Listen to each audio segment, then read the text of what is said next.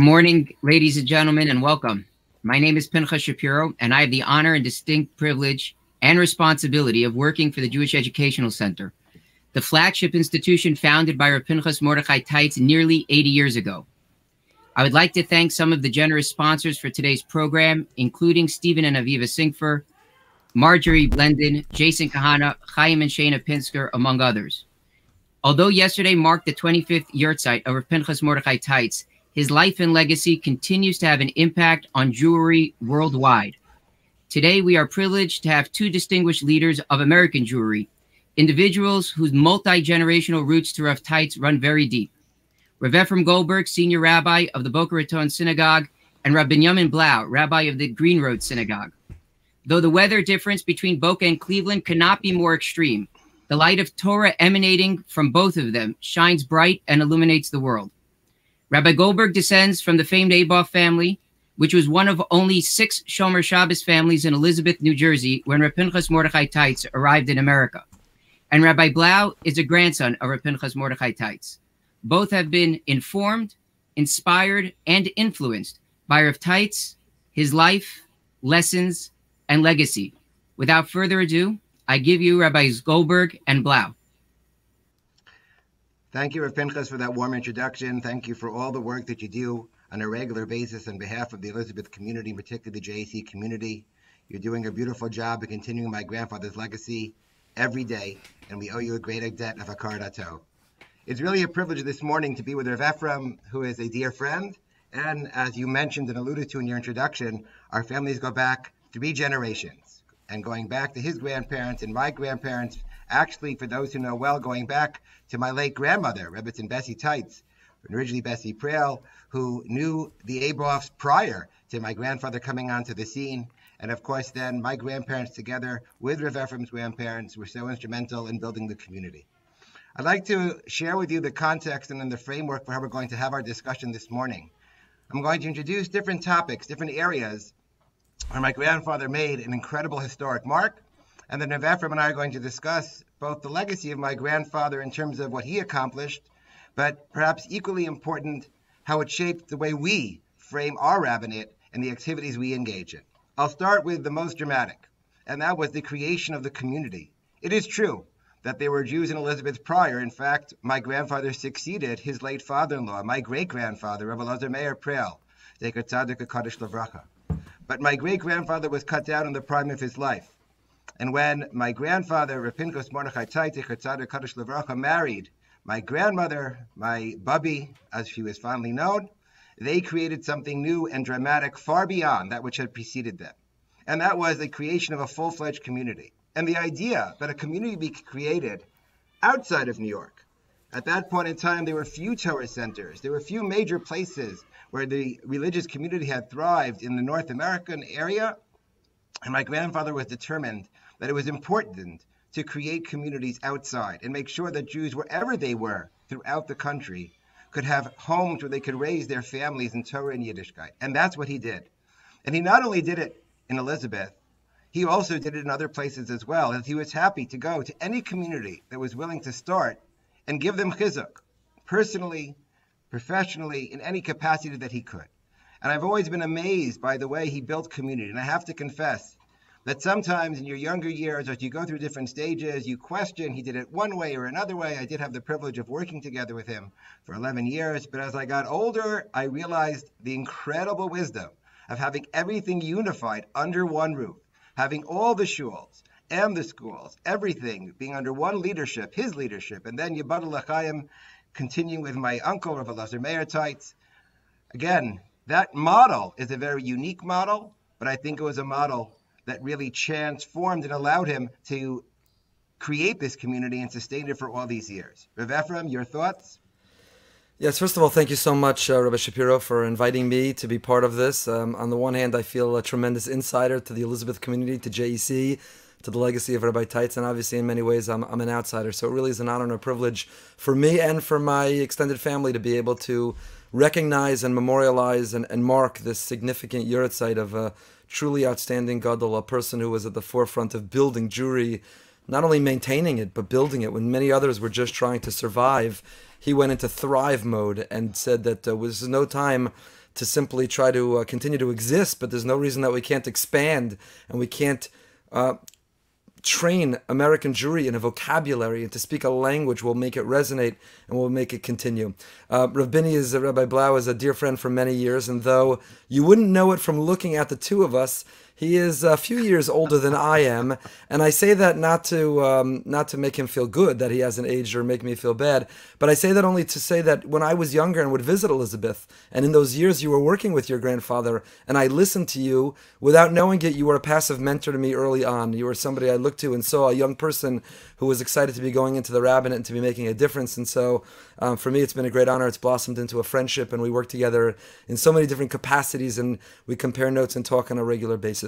Um, look, exactly what you're what you're describing is true. I know here in Boca Raton, where we try, and we're going to get into this this morning, where we try to follow that model of, of creating a kehila. It's not a shul in isolation. It's not just a shul on a block among uh, countless others, but we're trying to create a sense of community. And when a person reflects and says, who is the precedent? Upon what model can that be built? Who can we turn to to see where are satellite shuls with a main hub of the shul? Where is a community that operates with one set of minhagim? Where can we envision such a thing? There really is one place to turn, and that is Elizabeth. And um, what's really extraordinary is that is that your grandfather, Rabbi Teitz Atzal, was invited to many prominent positions in New York and he had the opportunity to bring his talents, as one would say in today's vernacular, to bring his talents elsewhere, to places under a much larger spotlight, which are much bigger or pre- prestigious at the time audience. And yet he felt a real loyalty to his father-in-law, and he wanted to build that kehila. And he saw in Elizabeth the possibility um, not only to not compete from a strategic point of view, but to build a kehila modeled after what he saw and lived with in Europe before he got here. And he took that extraordinary responsibility. And early on, um, though it wasn't easy, and a person needed that livelihood in order to provide for their family, he built Elizabeth so courageously. I know that in uh, 1935, I understand April 1935, he had a meeting of the community where he said, I have to leave Elizabeth. I have to take my family, we have to move. And people looked at him shocking, like, what do you mean you have to move? He said, there's no mikveh. If there's no mikveh, how could I live here? They said, well, you could go to Newark, or you could go into New York to Manhattan. And he said, that's lovely, but if we're going to have a Jewish community, if we're going to have a future, we need to have a mikveh. And that night he raised the necessary funds, and they built a mikveh. And that, that story, to me, really symbolizes leadership and courage and faith and being principled um, but all according to Shulchan Aruch, who says that the mikveh is the most important institution within a community.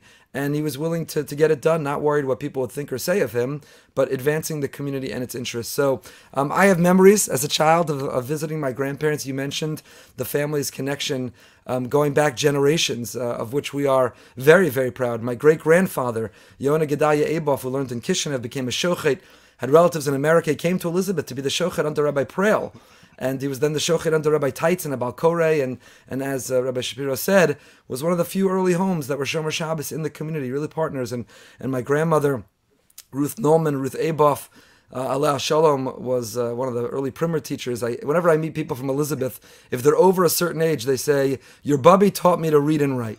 Every over a certain age, every person who grew up or lived in Elizabeth, your Bubby taught me to, to, to read and write. So we feel very, very connected. And, and my memories from that childhood of seeing the image of Slobodka, of seeing Rabbi Teitz walk to the end of the bima, and he didn't have to say a word. If there was someone talking in the shul, he just took three steps forward, looked in that direction, and everybody sat up straight, and nobody said a further word. I have such vivid memories of seeing that the mahus, the tsura of what it meant to be somebody you saw the gadlus Adam, the way he carried himself, Slobodka, and the community that he built continues to inform me. So it's really a great honor to be here with you. Thank you, Rav Efrem. I'm very humbled by your earlier words. I think we're equal mentors to one another, but I am older. That's not going to change. Uh, that is a reality. I just want to develop one of the ideas you were describing and really note that Rav Berel Wein had mentioned that when he was a young man learning in Chicago, and there were all the visitors after the war, after the Shoah, after the Holocaust, and all the great figures would come, and they'd all lament what had been what had been in Europe, what had been lost. And along came this rabbi and talked about what we were going to do, we were going to build. And he was so struck. Who was this individual? And that was, of course, my Zayda, because my Zayda believed that we could, as you mentioned, not just survive in America, but we could thrive. We could really build Torah communities. And Rav Wein said, as I remember him speaking, he said he used to make a lot of, as a lawyer, he was a very successful attorney. He made more, he paid more in taxes than his salary as a Rav but he was inspired to go into the, the, the, the role of a, of a, rabbinic leader based on the model he saw in my grandfather. And just to develop the idea a little further, even, though, even the way now, like you were mentioning, I know in Boca Raton Synagogue you have many, many minyanim under one roof, many, many different expressions. And my grandfather believed that as well. He did that by creating multiple shuls, multiple shuls under one roof. I don't think either you or I have the ability to do that in the same capacity. But it's the same concept, the realization that my grandfather realized different parts of the community, there were different sections of the community that needed his guidance. There were different sections of the community that did things a little differently. I remember in my years together with him, the the the, the nature of the of different minyanim. Every you know, Adas Shurin was different. It was was different than Beis Yitzchak, which was different than the JC, which is different than Adat Israel. Everything had a little bit uh, of a different feel. And my grandfather loved that because that was you were appealing to each section of the population. Each section of the Kehila was getting what they needed. And it was important to him. And it was important even when he moved. When the, when the community shifted, he still was important that each one of these shuls were maintained because it was so critical that that first that area was maintained, but that each brand had the same. And I know when I again uh, tried to create multiple binyanim under one roof is really a representation of that same concept that my grandfather embodied. Yeah, absolutely, and and I think that was it was tremendously prescient. It really was a visionary whereas everybody else locks themselves down on this is my hashkafa, these are our minhagim, this is the way we do it. I need everyone in my main minyan, right? There are still shuls. We have colleagues who will oppose the notion of a hashkama minyan or any other minyanim because they believe everything has to be centralized and focused in, in only one place. And and I think it took a lot of vision to say that not everybody fits in the same box. Not everybody geographically is going to live in the same location. So you can expand your influence and you can expand your sense of community and you can expand those shared values and vision if you're willing to. Uh, to share with others. You're willing to create satellites. You're willing to create auxiliaries and other smaller shuls, as you say, that takes tremendous, tremendous vision because people are different. And we're living in a world, especially today, of, you know, everybody's on demand. You order on demand and you watch on demand, you listen on demand, you make the playlist of what you want to listen to, and you don't have to suffer like we did in our childhood when you had a record, certainly, but even afterwards with tapes. You remember somebody you love came out with a new tape and there were three songs in the whole tape that you liked, but you had to suffer through all the songs on both sides of the tape to hear the three songs that you liked. Because if you would forward, you didn't know exactly when to stop.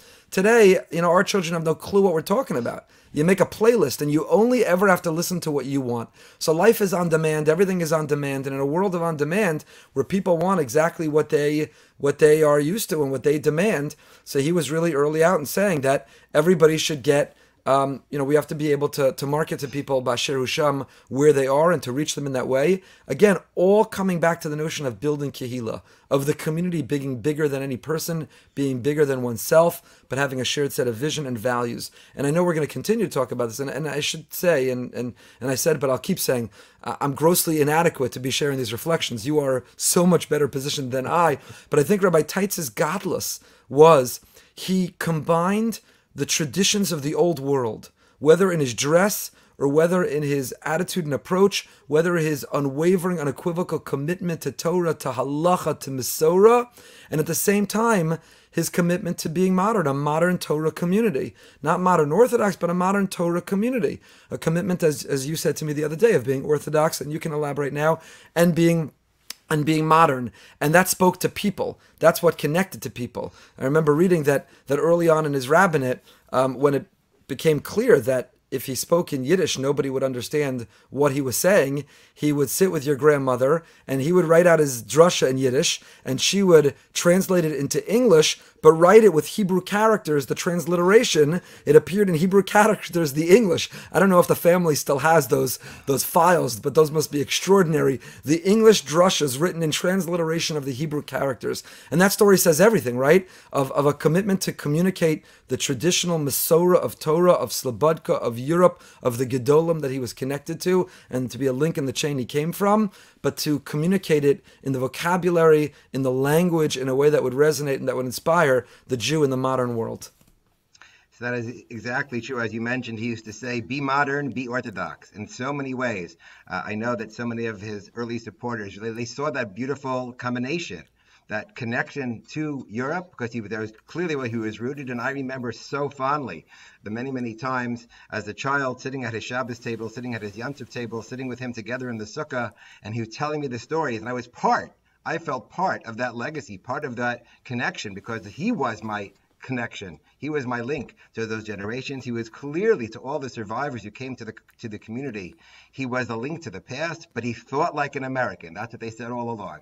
And you're right. You put it very well. That combination with my Babi El Shalom, figuring out the speeches in English to the point where English became so comfortable, and you never knew that actually. I think he was for always thinking in Yiddish. I always think he was really thinking in Yiddish, but he spoke in English. Although I do have to say, Eddie, to take credit or blame. I think even the, the Shabbos Hagadol and Shabbos Shuv addresses remained in Yiddish until I was old enough to come, and then he switched them to English because mm. it was important that everyone, including the grandchildren, understand. But there was that beautiful link. And I do want to mention, just in sensitivity, I mentioned a number of shuls earlier. Of course, their Elmora Hills minyan, the Sephardic minyan that now exists, all these other minyanim are really a continuation of that idea of my grandfather, Basher Husha, meeting the people where they are, meeting their needs. Can I ask you, Rav Blau, before you continue, if I could ask you a question along the same theme? Sure you know, I, I, did a fair amount of research. I, I, I, gave a talk in our shul because we did a series on people of the book and, and really great leaders of, of the 20th century in America. And, and I spoke to you then and, and, and members of your extended family and obviously my family. But what I didn't come across, and I'm curious to know whether you have an answer, is given where he came from and given his education, where did Rabbi Teitz get all the knowledge, the ambition, that CEO mentality? Right? The builders. I know the builders we think of as the group of survivors who built a real estate empire, and maybe they lent their expertise or what they learned in their partnership with him. But where did this Talmid of Slobodka, where did this Talmid of Gedolim of the past, where did this Rav steeped in Talmud Torah, where and, and all the aspects of, of being of Rabbanas, but where did he get the skill set, the ambition, the drive, the know-how to be able to build in the way that he did? Did he did he read? Did he listen? Did he consult experts? How did he get that education?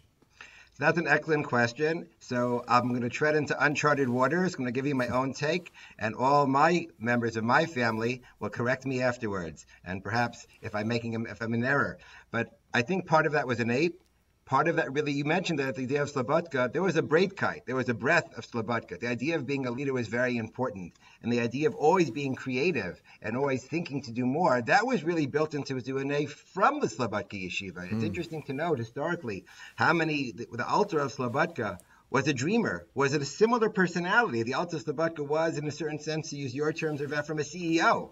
He really knew how to run things so expertly. And so many yeshivas, so many of the great yeshivas in Europe were yeshivas that he created because he sent his Talmidim. He sent his son to Mir. He sent all these different places. So that idea, I think, again, part of it was innate to who my grandfather was. Part of him was intellectually curious, always looking to learn and very, very interested in always knowing more.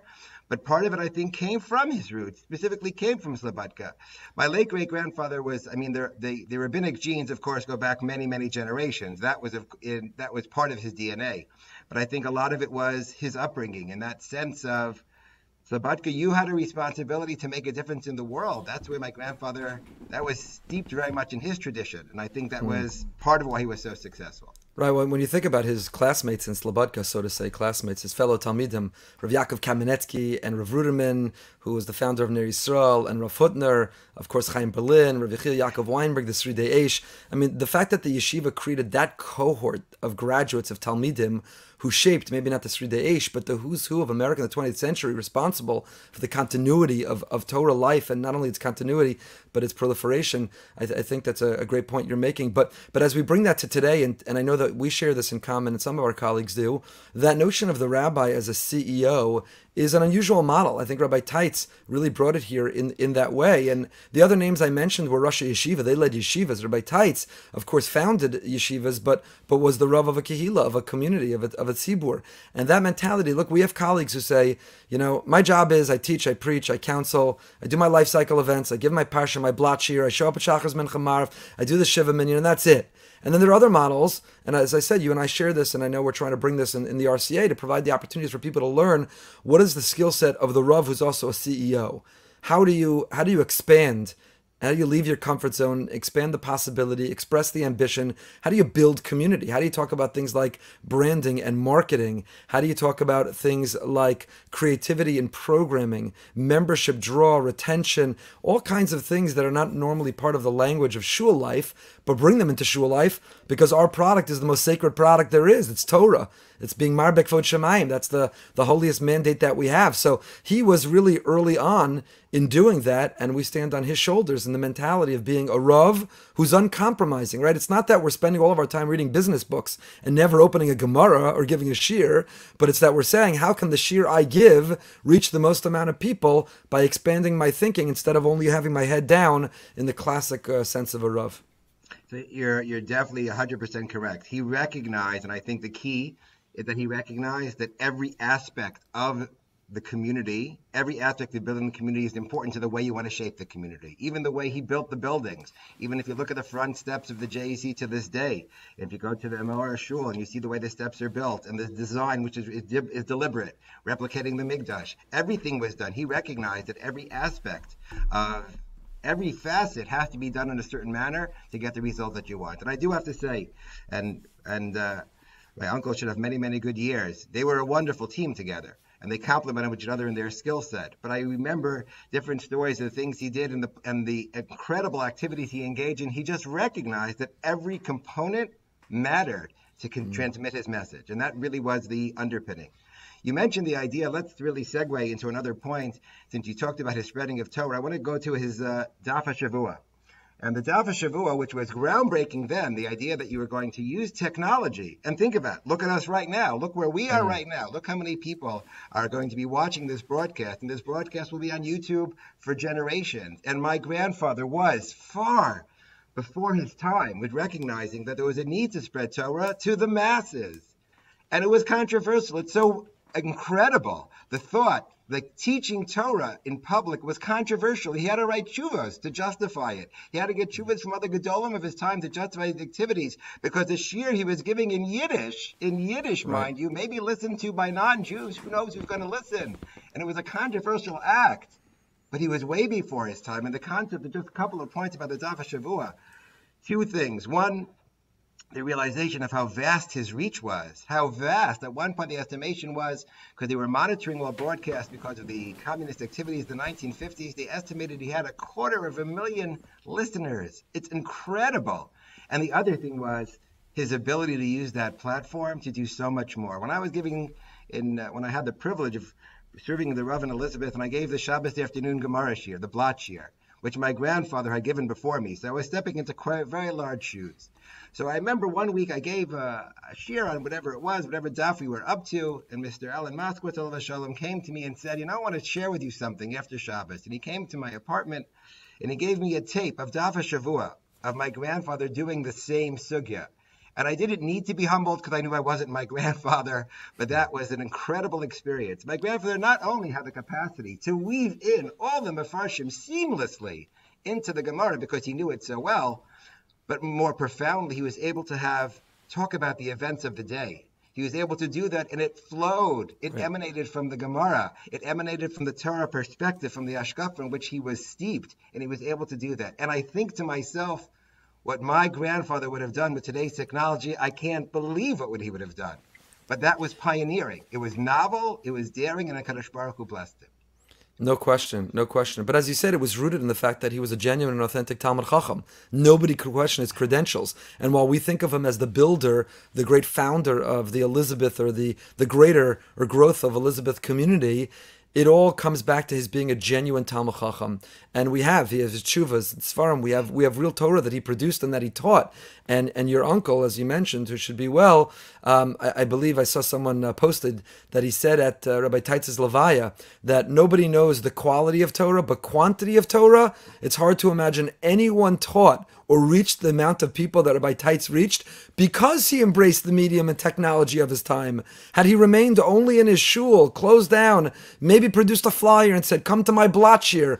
So who knows, in those days and even today, so there'd be a dozen people, a hundred people, how many would attend? But a quarter of a million weekly, the number is staggering. So in the 20th century, maybe one can say for much longer than that, who has reached that many people to be able to have that impact? You know, it, you would have said then, nobody ever used this word, you would have said Rabbi Teitz has gone viral. His shiur, his his his uh, daf shavua has gone viral. Had they used that word back then, they would have they would have said it. But absolutely, how pioneering and how again the word comes back to to courage, to have the confidence that you're steeped in tradition and in Torah, to have the confidence that you're a Bar Hachi, that you're a Talmid Chacham, and therefore to not worry about the criticism that will come, and the confidence and courage to embrace the modern mediums to be able to use those platforms to teach. And as you said, January 17th, 1953, first broadcast of the Daf HaShavua, WEVD radio, pioneer, innovator. It's it's mind-boggling.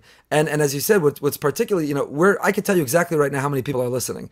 I'm operating this in the back end, and I could tell you, and and we're both humbled by how many people are tuning in, uh, and we appreciate on your on your Sunday morning you're joining us. He had no idea he started this on a whim. He had this idea and uh, and courageously began it.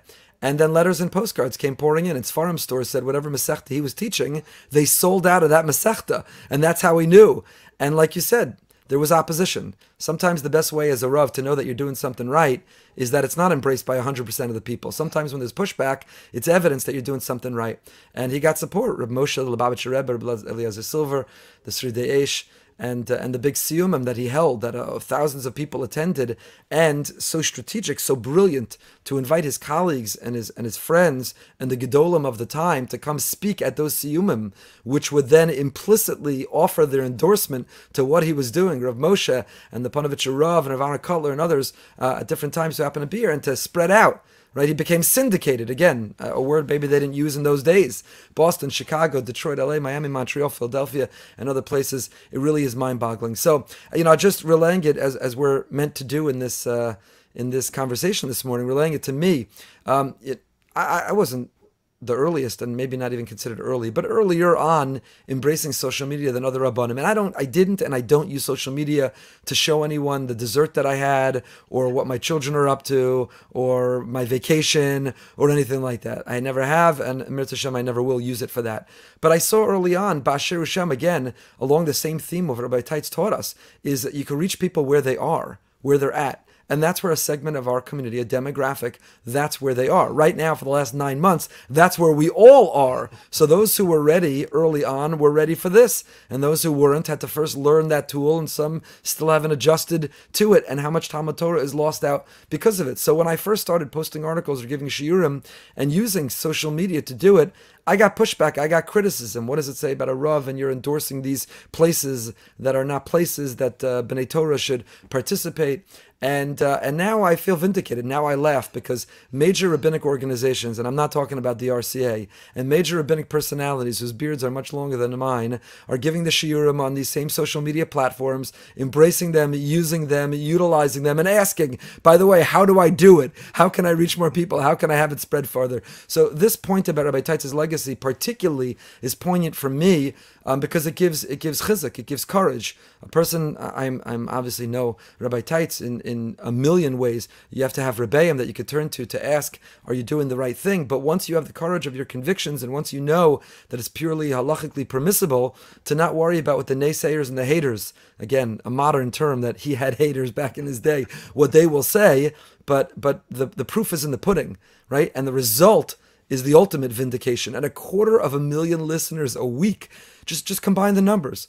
Combine the numbers, right? If he would do a charity campaign today on those numbers and be able to show on the screen, right? Just multiply a quarter of a million a week by 52 weeks and say, yeah, my my my blatt shiur, my daf hashavua, I teach several million people a year. Don't you think it's worthwhile to contribute to? So the numbers are staggering and mind-boggling, and it's not just something to admire as something about the past, but we should embrace it as something that informs our present to realize that we have the privilege with our rabbinic voices to not only reach the people in our community, the people who audibly, our voice literally enters their ear, but using technology, we could reach so much more. And that's not an expression or reflection of ego or arrogance, but rather it's a sense of responsibility. And I think you've hit it very beautifully. It perfectly segues into my next uh, area of, of next topic of conversation. But again, just to highlight, he really we what we're doing now, we're standing on his shoulders, and effing to do it really very, very well. A lot of us aspire to follow your lead, um, but all of us, it, it's it's following that model and never shying away, being courageous and recognizing that you can and must use the mediums of day. That same, you'll see the same strands keep coming back and forth. He talked about his courage and his willing to be an activist, and I think there one of the areas that he created felt the most pride in was his activities on behalf of the Jews mm. of the Soviet Union, making more than 20, 20 trips, I believe 25 trips behind the Iron Curtain at a time when no one could get there, and the realization that we do have a responsibility we do have a responsibility to take care of everyone else. We can't just be worried about ourselves. At a time when it seemed like it was impossible, like it was a Don Quixote task to go and try to help and save Russian Jewry. And it's true. Later, on, we can mention the fact that all the various movements that happened that were so instrumental and really fighting hard for Russian Jewry. My grandfather was there behind the scenes before any of those things happened. And those trips, which were harrowing trips, they were not easy trips. Uh, the, the really the, the level of oppression and the level of watching. I remember he, they, they, were watched all the time. The phone calls were monitored. There was one individual who who connected himself to my grandfather. He claimed to be a rav, and he said he was going to go around with my grandfather. He'll help him out. And they, my grandfather still had he and my grandmother Shalom had relatives still in Europe. And one of the relatives came over to my grandfather, took him inside, and said, and I'll say it in Yiddish and then translate. There's a Rebbe there's a Rav Ich bin a Rebbitzin. That person is a rabbi, like I'm a Rebbitzin. He's the KGB agent that's mm. really following you. And it didn't matter. My grandfather was undeterred. And, and no matter if people liked his approach, didn't like his approach, he knew. And I mentioned, uh, I remember very, very vividly a story. Uh, Dave Sky, many of the people in the community knew him well. Dave Sky Shalom, who ran Sky Hebrew Bookstore for all these years, used to put together the sets of Dalad Minim, the Lulavim and Esrogim that were sent before Yontif. And my grandfather would send, he had the connections. He'd get them the Dalad Minim, he'd get them the Sidurim, he'd get them the matzahs. And Dave was sitting Shiva. And it was the time to prepare the Dalad Minim. And my grandfather Paskin, again, that courage, that conviction, that after he would sit Shiva during the day, he could go back to the store at night and put together those Dalad Minim. And it was unheard of. And people thought it was a lost cause, but it didn't matter. It was the right thing to do, and he didn't shy away for a second to do it it, it, it really is extraordinary because again you have rabbanim who excel as talmidei chachamim and poskim in Rosh Yeshiva, and you have rabbanim in pastoral care, and you have rabbanim in and and he just combined it all. So this this component, first of all, it makes all of us feel so grossly inadequate and, and inferior. It's really it's really extraordinary, all combined in one person. So yeah, that sense of activism, and again, you talk about revisiting these same themes. So someone could say, look, I myself am an immigrant. I came here. I'm doing enough. I'm building community. I'm founding institutions. I'm teaching Torah. I'm innovating using technological platforms. Like, Shine, it's enough. I'm doing enough. But it wasn't just that he went back to Russia the amount of times that he went back. It was that he created this entity, Mifal Hatzalas Yahadus Russia, and that he printed these cal- calendars and almanacs and booklets and svarim, and he created a religious manual and a siddur for Americans. And, and I've seen a copy of that siddur. The title page of the siddur that he created, that he printed, and that he brought back, also says so much about him. The title page says, Siddur Kol Yisrael Chaverim.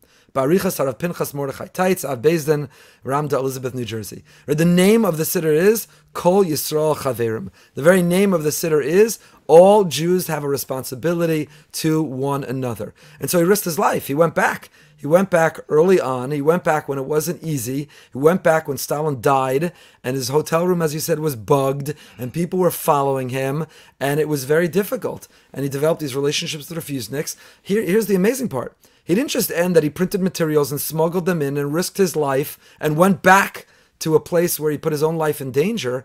Then, when people immigrated and he was able to get refused next year, he helped them find apartments and jobs and school and medical care and so, so much more. So, it really, really is amazing because at each step of the way, you say, it's not a Rav who rested on his laurels. It's not a Rav who said, what I'm doing is enough. It's what more can I be doing? What's the next big step? What's the next big thing? When I, um, and again, I know I'm telling you what you know, but I'm sharing for the, the sake of our audience who's listening. That's sense of activism goes back way before Elizabeth, way before he ever came to America.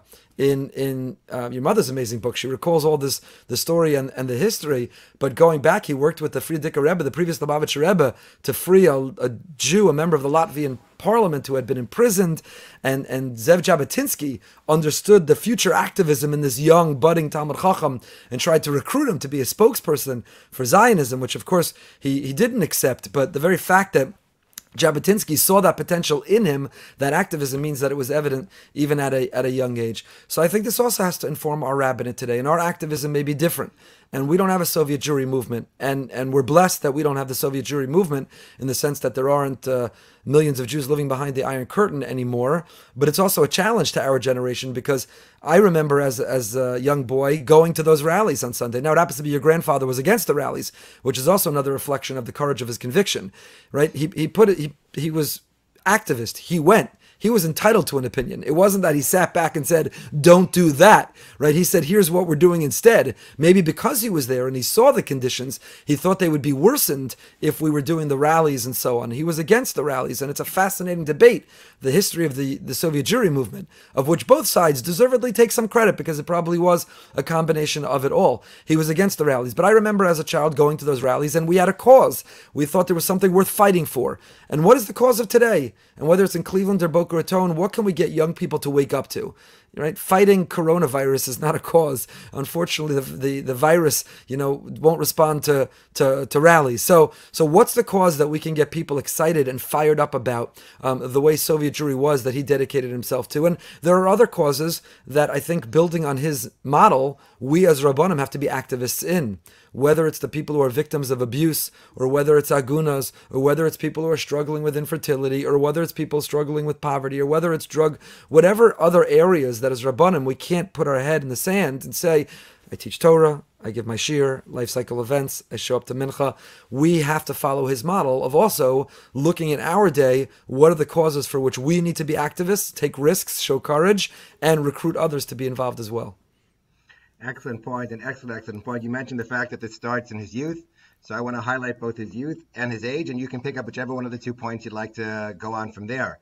Um, it is well known. Uh, my mother does relate it in her, her, book, but I remember hearing the story from him when he came home once from yeshiva from Slobodka, and he had found that the local cheder had taken a different approach than he had thought was appropriate, and he stayed home for a few months and created his own yeshiva. He created a yeshiva. He was a young man. He couldn't have been more than in his teens, but he thought it was important. And he created a school called Yavna, Yavna v'chachameh. It was originally a deliberate point in that sense that you have to rise to the occasion. And all of us have to find what the occasion is in our lifetimes, in our, and not even in our lifetimes, that can change in our lifetimes at different periods. But he rose to the occasion and he created this school. And in the same way, and I'm giving you a lot of material from to, to go from, from, but when he came to Elizabeth and he felt there was a need for a day school.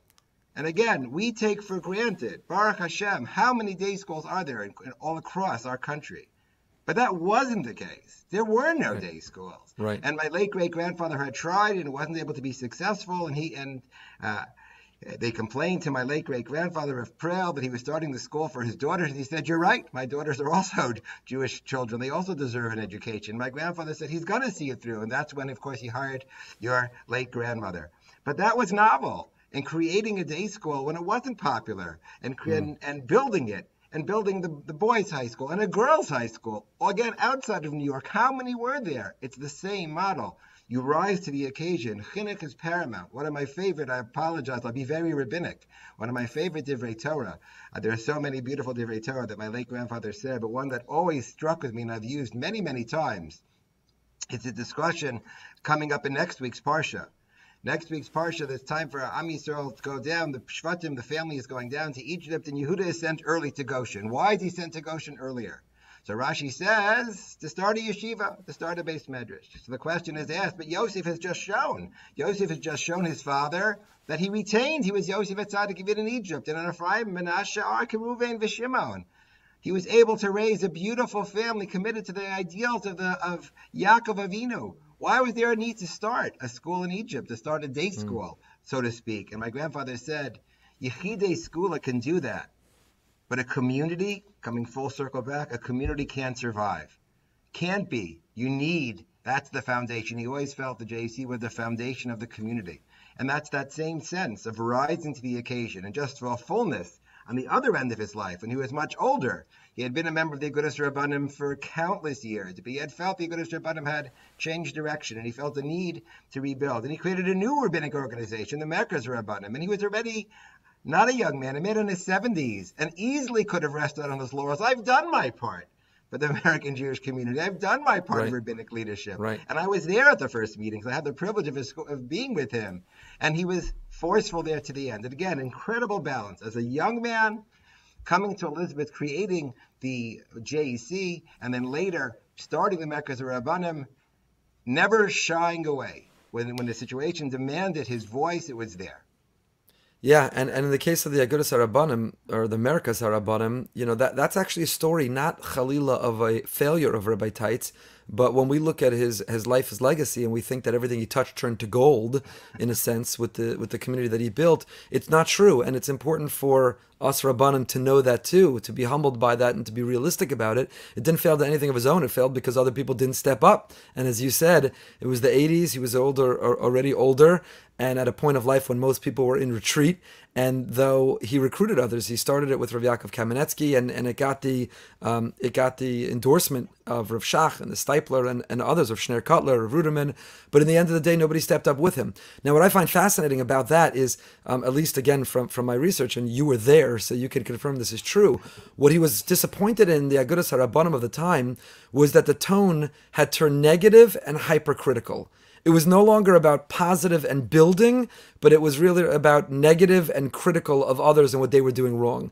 And he thought there needed to be established another group of rabbanim who would not simply exist to criticize, condemn, and, and be negative about others, but as he had done his whole career, be positive and see the opportunities and the needs and to build. So even the whole story of what precipitated his disappointment with one group of Rabbanim and his desire to build another is so instructive about who he was and about who we should be that sadly too many people only identify themselves by what they're not. I'm not this to the right, I'm not this to the left, I'm not this over there, I'm not this behind me. And he felt that a person shouldn't identify by what they're not, but identify by what they are. Don't be hypercritical and don't be negative, but be positive and create in a positive way. And and nobody else stepped up and nobody else took the mantle with him. And that's why unfortunately that is not part of his ongoing legacy. Not that it was a failure of his, but in the sense that it didn't that it didn't continue. So I'll, I'll again ask you a question. When we study and we reflect and we think about Rabbi Teitz, are these traits and skills any Rav can learn? You know, some some young Rabbanim, because while I still consider myself a young Rav, uh, the color of my beard would indicate otherwise. So I sometimes get called by young Rabbanim, and they and they ask, okay, so Boca's the CEO model. Can we learn that skill set? Somebody who's more of an introvert, or somebody who doesn't have that creativity or that vision more naturally or more innately, can you learn it? Can you learn that skill set? Can somebody study Rabbi Teitz's life and say, I want to emulate it? Can can a person learn that vision? Can they learn that courage? Can they learn that activism? Can they learn that innovation? Are these skills that people can learn, or are rabbanim just cut of different cloths? And some communities need and will get rabbanim who are a little bit more limited, but maybe also more focused, and others will get rabbanim who come from a different model. Do you think these are things that people can learn? I think it's an excellent question. I think, like in most things, the answer is very nuanced. I think we turn to my grandfather's life and all the various attributes that we have highlighted. And there's definitely what to learn from. And I think sometimes we have to push ourselves. You made the reference earlier, push ourselves out of our comfort zone and perhaps realize that you can take on more. And I don't think he started off thinking, okay, planned all these various activities they were going to do, he was going to engage. And as they came up, there was a need and he filled it. And he did it right. very well. Uh, so I think on the one hand, I think there's a lesson for younger rabbanim. Look for the model. Look to the model of Rav Teitz. Look to the model of Maizeda, and recognize there's so much more you can do. Don't sell yourself short. I think the other option is really also recognizing that if the need is there, then you have to build it in your rabbinate. And all of us recognize we have our limitations. And my grandfather also recognized that he needed to work with others. He needed to have partners. And the partners took on different forms in different contexts. And if we recognize that the areas where he was so forceful and so unique, uh, perhaps we can't emulate to the fullest, but if we realize that that's important, then we have to get it done some other way. And I think that's the dual duality of the lesson. Pushing ourselves beyond, pushing ourselves to things that perhaps we recognize, okay, I haven't been comfortable. Let's go back to technology. I haven't been comfortable up till now doing this, right. but I should embrace it more, little by little. In other areas, trying to get more adept and, and astute at some of these areas. But when I can't, but I know it's necessary. My grandfather showed it's necessary mm. to be successful. It's necessary to build community. Klal Yisrael needs it, so maybe I can't do all those parts, but I have to find others who can. Yeah, and, and I guess none of us can afford to leave out the part of Rav Teitz's life where he sat and he learned, where he became a Talmid Chacham, where he was Mishamish Talmidei Chachamim. Meaning, it would be terrible if a, you know a 23 year old assistant rabbi were to be hearing us have this conversation and then boldly tomorrow announce some new activist, you know, some new approach, founding some new thing, fighting some new fight. You need to be a Rabbi Teitz. You need to establish yourself and your credentials. And the thing that he did, which is which is very interesting, that is a repeating theme that comes up in in this activism, and we can include the building of institutions under activism is, like you just said, Rabbi Blau, he, he, he engaged partners, and be it the builders of Elizabeth, who were the financial backers and partners who shared their wisdom, not only their resources, but be it also fellow Gedolim and, and colleagues that he had known from Slobodka and well beyond, who, when he embraced innovation, wanted to make sure as historically great Rabbanim always did, that it was something that other Rabbanim would sign on to as well. And I think in that way, it's a, it's a great precedent to learn from too. I, I fully agree. I, I, was so privileged. It was actually interesting growing up as his grandson everywhere we went. So when I was a little boy in seventh grade in JEC or eighth grade, and we went for a Jeb Shabbaton to Brooklyn, they took us around to various Gedolim, and they would point out, here are the kids from Elizabeth, and this is Rabbi Teitz's grandson, because he knew them all, and he was close mm. to them all. And while uh, I, sometimes people ask me, did you feel any pressure to go into the rabbinate? 22 straight generations said no pressure. It was very natural. it was not a big deal at all. Um, but this was his; these were his partners. These were his yedidim. These were his chaverim. You mentioned the builders, who he really valued so much for their support and their wisdom. And I want to take even a step further. He felt the community was his partners. When he used to talk about well, saving Russian Jewry, he would always turn to the committee and say, "We're saving Russian Jewry," and it didn't matter if we all knew. All of us in the room knew that he was doing 99% of the work. He made right. the community feel this is mm. what we're doing. He took pride. He loved the community. He loved the Kehila, and he wanted them to feel partners in all his endeavors. So we're building, we're building the community. We're building the JEC. We're spreading Torah through Daf Shavua. We're saving Russian Jewry. And all of that with that same mindset. And that is such a powerful idea that we have to express to our own communities as Rabbanim. The sense that whatever projects we're engaged in, it's as a community project. They should feel that pride in what their Rav is doing, but deeper than the pride the sense of partnership with their Rav, that this is something we as a community are taking on and we as a community are accomplishing. That is such a great point. Um, we, we have several uh, people who live in Boca who came from Elizabeth. And I don't think there's a community in America where people are more proud to have come from than Elizabeth. And in fact, you know, Rabbi Josh Brody, my dear friend who grew up in Elizabeth, you know, when, when he first came here and he didn't go to YU, he went to he went to Israel. So whenever someone would quote the Rav for a long time, he thought they were talking about Rabbi Teitz. Because if you grew up in Elizabeth, the Rav was Rabbi Teitz, not Rabbi Soloveitchik. He was the Rav. And everybody eats bananas as karpas, and everybody does this, and everybody does whatever the minhage Elizabeth are, that's the world. And so, yeah, he was able to engender not just a community or a city that deferred or bowed to him, but that took pride themselves in all that they accomplished as a group. And the products of Elizabeth, Ada Yomaz until this very day, are so proud to come from Elizabeth and so proud to talk about the Rav or their memories of the Rav or their connection to the Rav and so on. I just walked a young woman out of Shiva this morning before we began, whose uh, whose mother was an Elizabeth, taught in the JEC, and her reflections and memories about about Rabbi. As she's walking out of Shiva, is you know wanted to make sure before we did this program that she'd be able to share. And, and, on our podcast a few months ago, we had Mark Wilf on, who was sharing his memories growing up in Elizabeth. You know, today, an owner of an NFL team and, and a son of one of the builders, but his the impact that Rabbi Teitz had on, on his life and his vision and his Jewish communal work. And, and I'll ask you this in an apolitical way, because this is an apolitical conversation. But would your grandfather ever have believed that one of the builders, his good friend's grandson, would be in the White House advising, shaping Mideast policy, and bringing peace between Israel and its neighbors. Um, would he ever believe that one of the builders with whom he built Elizabeth would have such not only access, would be essentially a resident of, of that of that uh, place and have that and have that power? And I'll ask you this: If Rabbi Teitz were alive over the last four years, what would he have been whispering into Jared Kushner's ear would be the most important things for him to be working for and fighting for on behalf of the Jewish people? Because there's no doubt that he would not have been looking for an invitation to the Hanukkah party that would not have interested him. He'd be looking for how can that unusual place of, of power be used to advance the needs of the Jewish people? What would he be telling him? So that's a question, a good hypothetical question that no one can give the right answer to, because my grandfather would have seen the needs of the present, and the needs of the future. and he would have tried to find a way to do both. And he was, you mentioned he's apolitical, he really was always concerned what was best for the Jewish people, for Am Yisrael, wherever they were. And I remember the time when he hosted Jimmy Carter all those years back. And he really, and, and his, and the great and the admiration of the various governors, both Republicans and Democrat governors, had for my grandfather, who had total admiration for him. And he had their ear because they knew he had that distinct voice and that integrity and that confidence and the real concern for Am Yisrael. So I think he, I don't think he would have been so surprised. I think he would have been proud, but I think more deeply than that, I think he would have used looked at what are the issues that we have to deal with today and try to look 20 years ahead, be planning always for the future. That really was part of his greatness. That was part of his mm. uniqueness.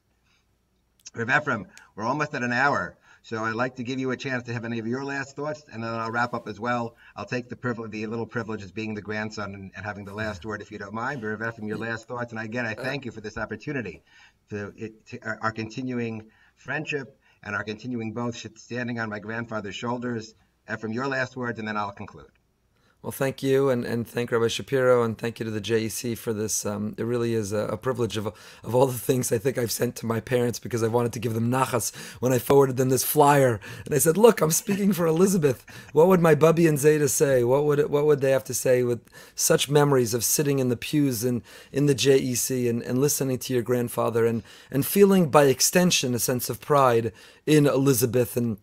As I alluded to earlier, whenever I meet anybody connected to Elizabeth, being able to ask them, you know, did, did my grandmother teach them? So I share in that pride. Um, you know, so look, again, I was very young, and my memories of Rabbi Teitz are really of, of, of watching him from afar, and of course of the relationship that he shared with the family. And it's only when I matured and I've become a, a rabbi myself do I study his legacy to draw from it. And it's not a platitude because I was invited to this program that I'm saying this. It's emes. It's 100% true that whether implicitly or explicitly, so much of what he did in Elizabeth is what we're trying to emulate today here in Boca and and all of those notions of reaching people where they are and uh, extending beyond our comfort zone and in, engaging in the the innovative opportunities of the present to be able to have the impact go as far as it can. And and as you so importantly just recent just raised the notion of the we not the i that the brand is more important than the person that the community you're trying to create is more important than any individual any individual in it. So I continue to be inspired by his legacy, as do as do so many other people. And you know, there's some comments that have been coming in as we're as we're teaching. And and and one person, you know, I know from growing up, Aaron Fishman writes, I remember of Teitz being very approachable, even to a younger kid who may have a shaila. That even as great as he was and all that he accomplished, he wasn't distant, he wasn't apart. Um, but younger kids also could approach him and can relate to him and can connect him, and he dedicated himself to being there. So he really is, he set the bar very, very for, high for us to try to combine all of those skill sets and to try to achieve all of those accomplishments and to try to be available to all of those demographics and to reach people in all of those in all of those different ways. And i can only hope and pray that the people who grow up and graduate our communities will feel that same sense of pride that same sense of mission that same set of values having very have growing up with clarity of who we are and what we stand for that they will be proud to have been a part of it and that his legacy on this uh, 25th yahrzeit will continue to inspire us today and for many many years to come Rav Efrem, that's such a beautiful way to close. And I'm not sure if I have more to add, but perhaps on a personal note, really just want to end. I think Klal Yisrael misses his voice. I think he had opportunity. He would speak up at so many times in a way that some sometimes we're not always comfortable doing. I think the community misses his leadership. And I have to say, on a personal note, I miss his love. He was so, we were very, very close. I was very, very fortunate to be with him so often. I loved him. Every time I would come home from yeshiva, he would always ask, how I was doing, and he wanted to know if I was growing. He always wanted to see me aspire. He wanted, he wanted me to aspire to the same level of greatness. I think all of us, all of us, uh, have learned so much for him.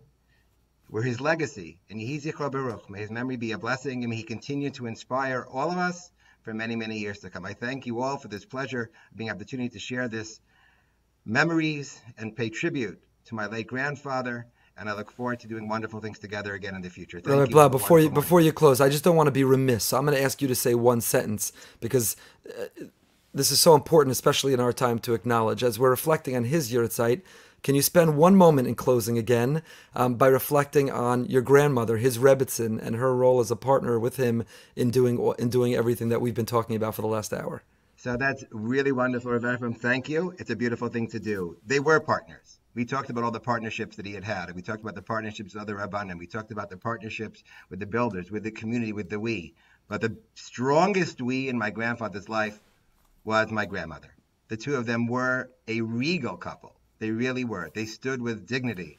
They were partners in everything they did. You mentioned the fact that she helped him with his speeches, but she was helpful in everything. And they were both two wonderful, powerful personalities both of them with tremendous dedication to their roots, to their own Masorah. And even till I remember as a child, we would sing Zmiros. We'd sing the same Zemer, half like my grandfather's niggin, half like my bubby's niggin, because both of them were fiercely loyal. And and her loyalty to Elizabeth was perhaps even greater than his, because after all, this was her father's and her mother's place.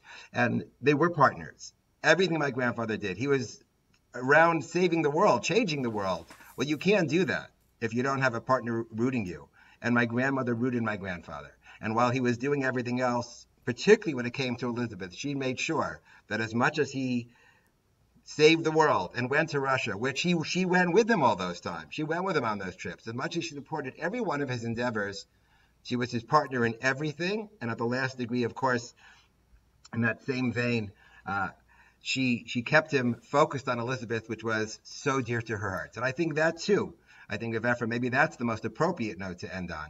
The partnership that my grandparents had together, it's my grandfather's yahrzeit, but they together did everything, and both of us are privileged as well to have partners, to have Rebbitzins, to have wives who are our partners in all that we do, because we can't accomplish anything without those partnerships. And I think that is the appropriate way to end and a beautiful tribute to both my grandparents. Thank you for that note. That's all.